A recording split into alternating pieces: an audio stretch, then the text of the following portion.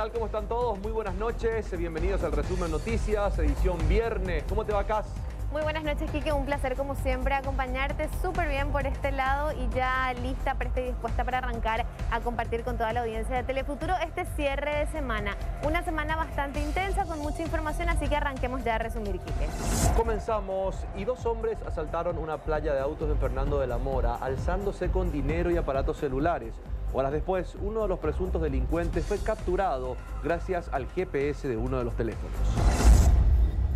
En la tarde del jueves, dos delincuentes ingresaron a una playa de autos en Fernando de la Mora y a punta de pistola asaltaron a uno de los encargados, alzándose con dinero en efectivo y aparatos celulares de los empleados. Tras el robo, la policía rastreó uno de los móviles que contaba con rastreo satelital, logrando dar con el vehículo utilizado por los delincuentes y en su interior a uno de los presuntos ladrones. Del poder del mismo se incautó el celular robado y un revólver calibre 38 con cartuchos en su interior sin percutir.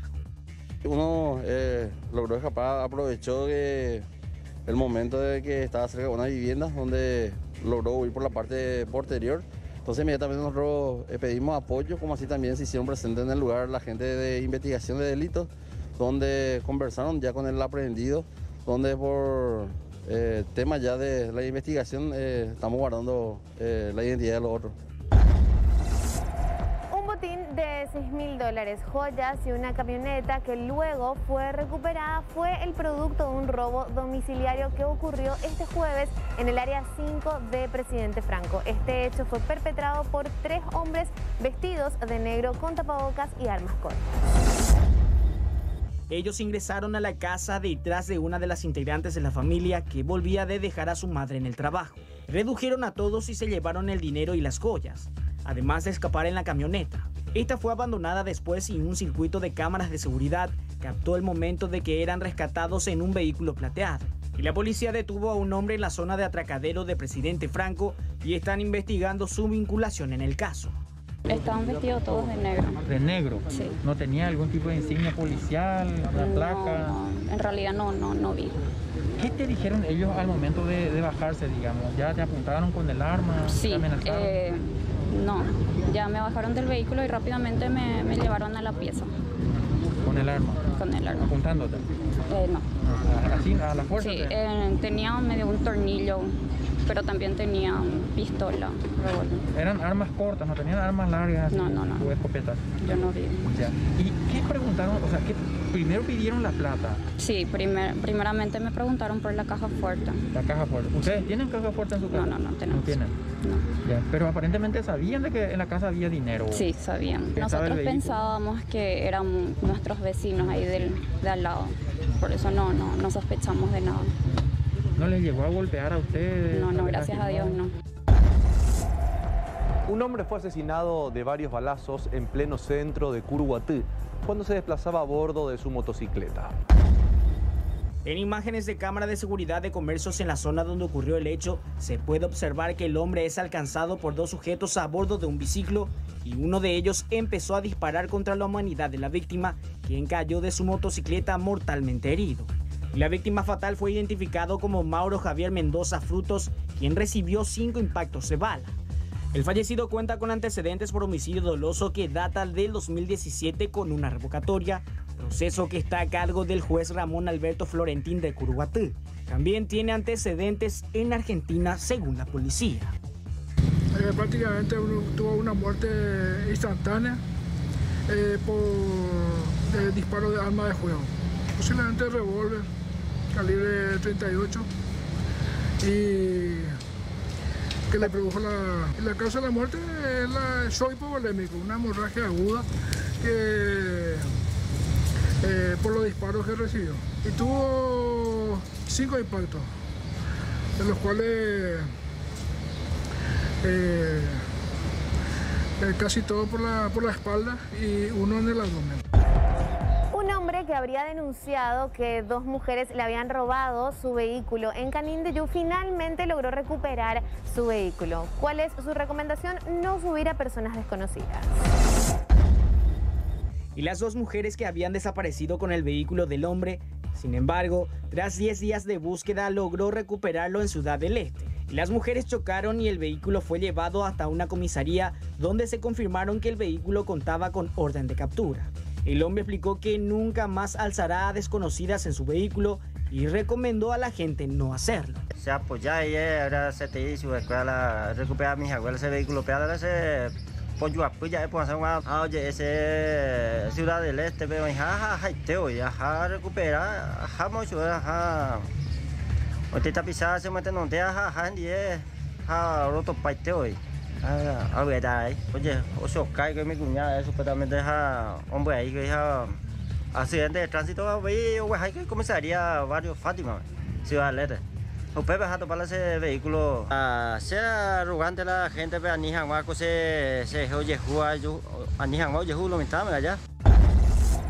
Vecinos del barrio Cañada San Rafael del Luque denuncian que son constantemente visitados por rateros que se llevan todo lo que encuentran a su paso.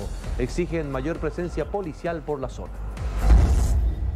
Cansados de la inseguridad, los vecinos del barrio Cañada San Rafael dicen que ya no saben qué hacer con los rateros que rondan por la zona debido a que la policía tampoco da abasto por la poca cantidad de agentes que custodian los alrededores. En algunas imágenes de circuito cerrado se puede ver cómo actúan los delincuentes que no perdonan nada y se llevan hasta las planteras que están en los patios de las casas. Por tal motivo, ahora los pobladores piden alguna solución a las autoridades correspondientes para poder descansar de esta ola de inseguridad.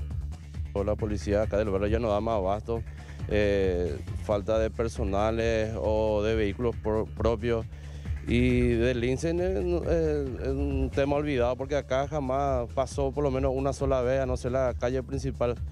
Y acá a 3, 4 cuadras tenemos un lugar denominado Cable y ahí lo que viene la gente, te llevan a cualquier hora del día, cualquier hora del día te vienen, te sacan y es, como te digo, impresionante la ola de inseguridad que tenemos acá en el barrio Francisco. Decimos que son pocas cosas, pero queda también la, sensación de inseguridad. Eh, la inseguridad es total, te digo, tremendo. Eh. Acá con decirte, a veces señora, hay señoritas que trabajan de mañana y tienen que venir acompañarse así con el padre o si no está el padre con la madre con garrote en mano que estaba estacionado en la vía pública en Asunción se quemó. Parte de su interior también fue consumido por las llamas. De acuerdo a las primeras informaciones, ese fuego se inició en la cajuela. De acuerdo a los indicios, apuntan a que este fuego, este incendio fue provocado. El incendio se produjo en la madrugada de este viernes sobre la calle Suiza y Prócedes de Mayo, en el barrio Pinosá de la ciudad de Asunción. Un vehículo estacionado en la ubicación citada ardió en llamas y alertó a los vecinos, quienes inmediatamente pidieron ayuda. Los bomberos de Asunción se constituyeron en el lugar y sofocaron el fuego antes que se extendieran las llamas a la cabina. Según el reporte del bombero Rodrigo Benítez, el principio de incendio se registró en la cajuela y fue extinguida mediante la rápida acción. Señaló que por precaución se desconectó la batería del rodado. En las inmediaciones del lugar se encontró una botella de plástico que contenía combustible y aparentemente había sido utilizada para provocar el siniestro. El oficial interviniente Richard Pereira afirmó que agentes de criminalística harían las pericias correspondientes. Sin embargo, el propietario del vehículo decidió no formular la denuncia. Encontramos el vehículo con un principio de incendio en la parte de la cajuela. Como se puede observar ahí, procedimos a la extinción gracias a la rápida acción de los compañeros. Eh, por precaución se desconectó la batería y los compañeros están trabajando ahora para ventilar el vehículo por cualquier cosa. Una mujer que se hacía pasar por jueza fue detenida en el departamento de San Pedro. Según las denuncias, la misma embaucaba a comerciantes de Santaní. La mujer que fue detenida en Santaní retiraba materiales de construcción y muebles para una cocina con la promesa que enviaría a su secretario para que realice el pago correspondiente.